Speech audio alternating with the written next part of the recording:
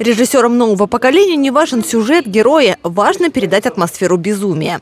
Так говорит о современной драматургии Вячеслав Дурненков, автор пьесы «Антикафе». С нее в Самаре начался фестиваль «Лаборатория. Место действия». Самарский режиссер Игорь Кузнецов пошел дальше обычной читки.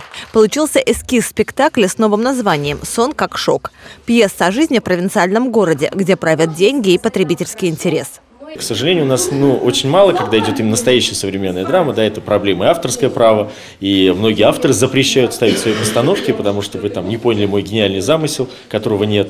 Э, да, тоже с этим как бы сталкиваемся. И цель познакомить, Самара откликается на это, молодежь идет, им это интересно. Раз в месяц в понедельник мы читаем пьесы новых авторов в литературном музее имени Горького, и каждый раз у нас минимум 60-70 человек, которые не помещаются в зал.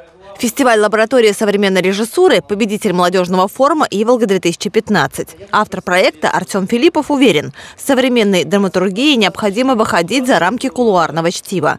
Молодым режиссерам пора на большую сцену. Мы в течение пяти лет уже делаем читки, а, встречаемся с молодыми актерами, которые хотят что-то делать помимо репертуарного театра, который загнан в такие условия, что он должен зарабатывать деньги. А э, у нас до Самары редко доходят современные пьесы, какие-то новые, новые темы, э, и, и не ставятся в профессиональном театре зачастую.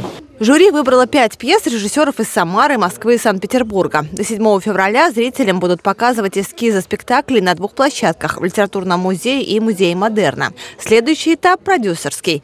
Лучшие постановки будут транслировать в режиме онлайн, и руководители театров со всей страны смогут оценить современную драматургию. Ольга Морозова, Алексей Золотенков. События.